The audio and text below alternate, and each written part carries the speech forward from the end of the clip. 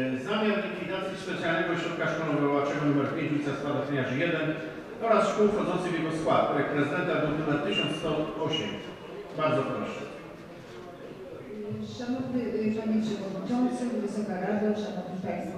Ja chciałabym zaproponować, jeśli można, y, rozpatrywanie tych trzech druków, ponieważ y, łącznie, ponieważ y, mm, likwidacja specjalnego ośrodka szkolno-wychowawczego na numer 5, y, roz, y, rozwiązanie zespołu szkół specjalnych numer 13, likwidacja specjalnego ośrodka szkolno-wychowawczego dla dzieci niesłyszących przy ulicy Spadochroniarzy, to niezbędna z punktu, y, z względów formalnych, droga y, formalnej likwidacji w celu powołania powszechnie akceptowanego y, i znanego Państwu pomysłu, w ramach znanego Państwa pomysłu Centrum Autyzmu. Także jeżeli można, to y, właśnie chcę zło, tak Bardzo proszę. Zatem w spra- y, y, druk nr 1108 w sprawie zamiaru likwidacji specjalnego ośrodka szkolno-wychowawczego nr 5 ulica Stodochoniarzy 1 oraz szkół wchodzących w jego, w jego skład. Następnie w druk 1109 w sprawie zamiaru rozwiązania szkół, zes- y, szkół zespołu szkół specjalnych nr 13 ulica Szopkarzy 8 oraz zamiaru likwidacji szkół wchodzących w jego skład i w sprawie zamiaru likwidacji specjalnego ośrodka szkolno-wychowawczego dla dzieci niesłyszących ulicy Stodochoniarzy 1 oraz szkół wchodzących w jego skład. W miejsce zlikwidowanych jednostek z dniem 1 września 2013 zamierza się założyć specjalny ośrodek szkolno-wychowawczy dla dzieci i młodzieży z autyzmem y, pod nazwą Centrum Autyzmu. Uczniowie tych wymienionych y, wcześniej zespołów szkół będą mogli kontynuować naukę w specjalnym ośrodku szkolno-wychowawczym dla dzieci i młodzieży z autyzmem pod nazwą Centrum Autyzmu. Centrum Autyzmu zlokalizowane będzie w dwóch miejscach. Przy ulicy Szopkarzy 8 oraz przy, przy ulicy Spadochroniarzy 1. Dziękuję. Otwieram dyskusję. Pani Radna Nowak. Bardzo proszę.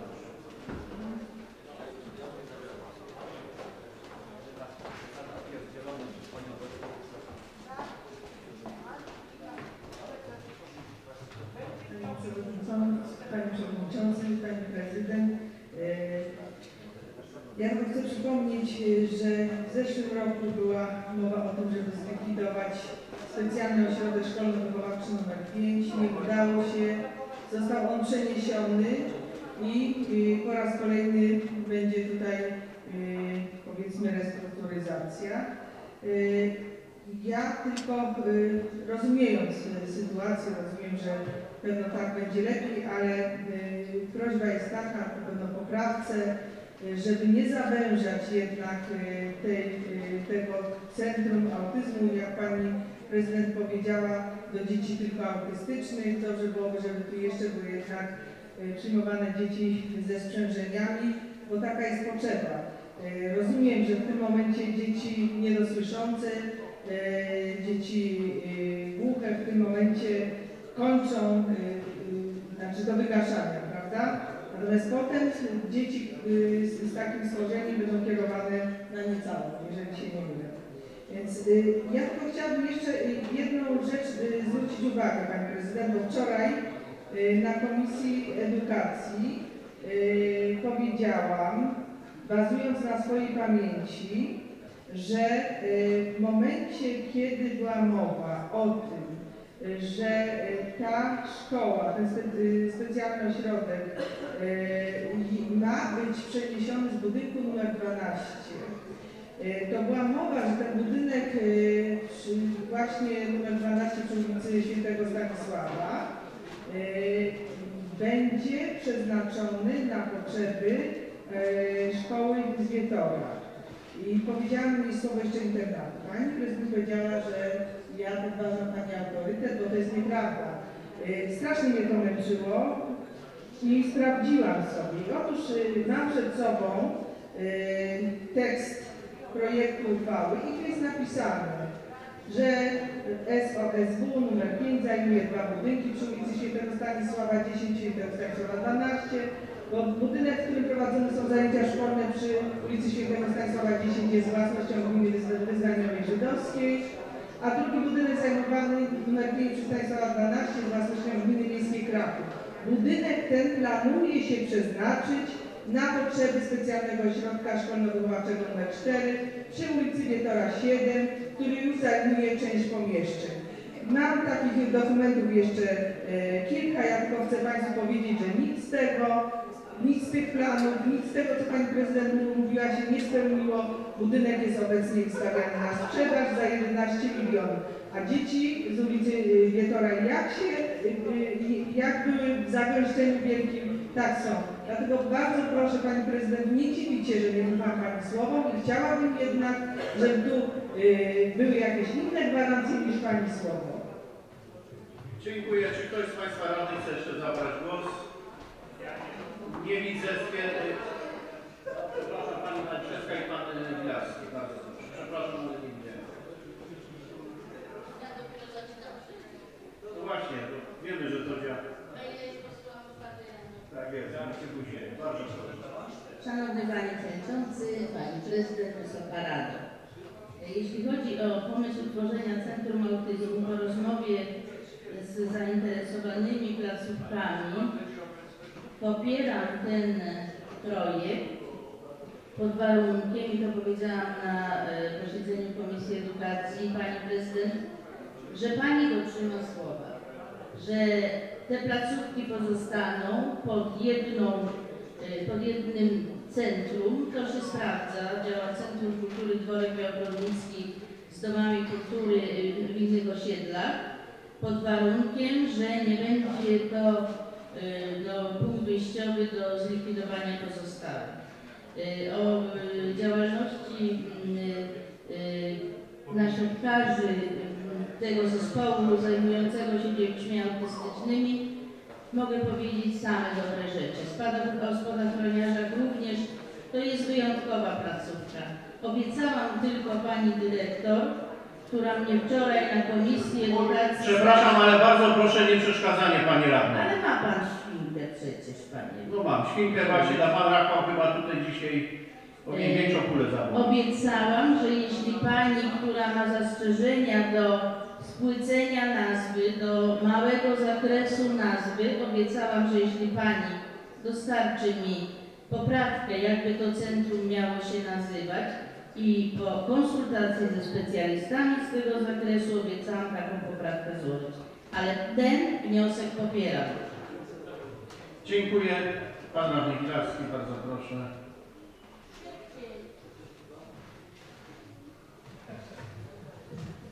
Panie, e, Przewodniczący, Panie Prezydent, e, chciałbym zadać kilka pytania, natomiast dla tych, którzy mnie powsłyszają, to przypominam, że dzisiaj o to, abyśmy obradowali e, bez trzygodzinnej przerwy, wówczas przedsięwzięcie to następny, czyli przed 10 albo po 10. Wszyscy zagłosowaliście w większości, żeby obradować. Panie Radny, za chwilę będziemy Pana wniosek do Komisji Innowacji głosować. Proszę do rzeczy. Dobrze. Ale jak rozumiem, mamy dużo czasu, wszyscy chcieliśmy długo obradować, więc Proszę do rzeczy. Nie ma pośpiechu. Tak, chciałbym zapytać o dwie rzeczy. Mianowicie mamy tutaj y, uchwały dotyczące likwidacji placówek, natomiast y, chciałbym zapytać, jaki jest tryb, kiedy należałoby y, i kiedy należałoby się spodziewać y, od y, pani prezydent uchwały y, powołującej to y, planowane Centrum Autyzmu. Jaki jest tryb, kiedy to będzie, że tak powiem, realizowane? Drugie, druga, e, drugie pytanie to, jak zrozumiałem, to Centrum Autyzmu będzie funkcjonować w dwóch budynkach, w dwóch lokalizacjach, przy, każdej jednocześnie przy Stowarzyszeniu, więc tutaj niejednokrotnie były dyskusje na ten temat, że jeśli jest więcej obiektów, więcej szkół do zarządzania, to jest oczywiście droższe, czyli jak z tej perspektywy e, miałoby wyglądać. Trzecia rzecz, faktycznie tutaj już przedmówczyni mówiły o tym, że uważam, że ten, ta nazwa Centrum Autyzmu jest e, nazwą niewłaściwą. Należałoby pomyśleć, zaproponować inną, tak aby szerzej podejść do sprawy. Mm, Nie mam w tej chwili jakiegoś e, konkretnego pomysłu, natomiast ta intencja jest zrozumiała, aby to nazywało się Centrum Autyzmu, ale może Centrum wiem, Pomocy, Wspomagania i, mm, obejmowało szerszą e, grupę mm, dzieci, a nie tylko tych autystycznych. Tak, żeby ta nazwa była e, właściwa. Dziękuję. Dziękuję. Czy ktoś jeszcze z Państwa radnych? Nie, to, to nie Pani Radna. Dobra, jeszcze Pani Radna Maliszewska.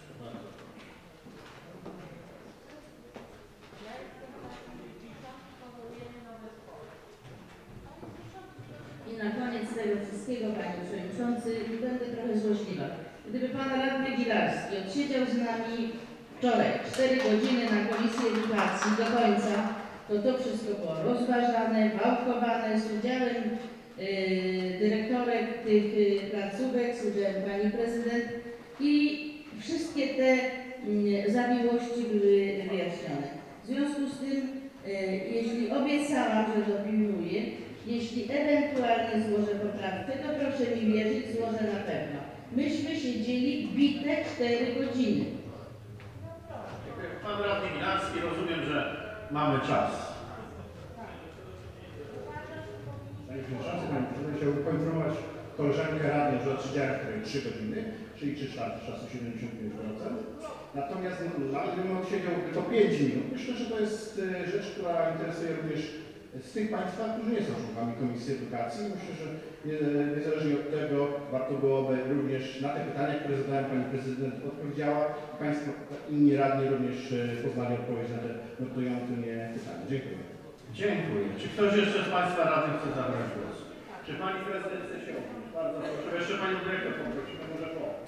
Dobrze? To bardzo proszę, bo wtedy będzie już jakby finał spraw. Bardzo proszę. Proszę się przedstawić, żeby było Urszula Gurba ze Służby Specjalnej nr 13 dla dzieci i młodzieży z autyzmem. Ja przede wszystkim do nazwy, bo ja widzę to dużo emocji wzbudza. Proszę Państwa, spektrum autyzmu, autyzm w tej chwili w najnowszych nomenklaturach używa się sfor- sformułowania spektrum autyzmu. Jest to jakby na linijce rozpięte y, cechy autyzmu danego dziecka. Albo cechy są bardzo głębokie i dziecko ma głęboki autyzm i pomimo na przykład wysokiego, wysokiej normy intelektualnej, jego zachowania autystyczne są tak głębokie, że nie jest w stanie funkcjonować w większej klasie, czasami nie jest w stanie funkcjonować nawet w nauce jeden na jeden. Natomiast jest na drugim końcu tegoż spektrum autyzmu są również tacy uczniowie, którzy funkcjonują dobrze albo funkcjonują bardzo dobrze, nawet w klasach integracyjnych, czy też nawet masowych w mniejszych szkołach. I ci powinni być według mnie również jak najbardziej w integracji. Centrum zostało, y, jakby koncepcja centrum została, została y, w ogóle, y, no idea zrodziła się właśnie dlatego, żeby przede wszystkim dać rodzicom poczucie bezpieczeństwa od samego początku, czyli to ma się znajdować w nauce szokraży. Diagnoza, wczesne wspomaganie grupy przedszkolne y, i później następne lata szkolne, które dzieci spędzały w nauce spadochroniarzy, również z pełnym zabezpieczeniem aż do ukończenia szkół, ewentualnie jeśli będzie kiedykolwiek miejsce, również rozmawiałam ze, stowarzyszeniami, które y, no, starałyby się tam o miejsca warsztatowe, ewentualnie FTS dla uczniów z autyzmem. Także y, sprawa jest jakby przez nas, przez wszystkich nas, z dyrektorki mocno przemyślana od samego początku do końca. Ja autyzmem zajmuję się od lat 20, w związku z czym jakby wiem o czym mówię. Y, Co do nazwy, y, mam duże wątpliwości, jeśli miałaby na nazwa rozszerzać się do jakichś sprzężeń, ponieważ później efekt jest tego taki, że poradnia daje nam sprzężenia wszystkie. Bo jak są sprzężenia, niech on będzie sprzężony z niewidzeniem, z niesłyszeniem, z kuleniem, z, kuleniem, z na wózku ze wszystkim. Tak nie może być. Jeśli powołujemy centrum, które ma się zajmować osobami z autyzmem, to powinno się zajmować osobami z autyzmem. Oczywiście możemy przedłużyć tą nazwę o tak, albo o spektrum autyzmu, al- albo o zaburzeniach pokrewnych. I wtedy nie będzie problemu. Bo tak jak mówiłam, są dzieci, które są wysokiej normy i one powinny być odpowiednie szkoły. Yy, Wczesne wspomaganie było również wczoraj yy, yy, jak wiem, poruszane. Yy, Całe wczesne wspomaganie na, na, na szopkarzy. W związku w związku z czym cała kadra ze spadochroniarzy y, będzie przeniesiona na szopkarzy i tam po prostu będziemy się sta- starali właśnie poprzez różne metody, ponieważ na Pani. Dyrektor, bardzo proszę kończyć. Tak, pracują troszkę innymi metodami, my pracujemy troszkę innymi, również były rozmowy z behawiorystami. Wszystko to jesteśmy w stanie w spektrum, y, w Centrum Autyzmu zabić. Niepokoi mnie tylko to, że szkoła, że y, terapia behawioralna stara się o szkołę, ponieważ y, no jednak w terapii behawioralnej są głównie dzieci z autyzmem i myślę, że wtedy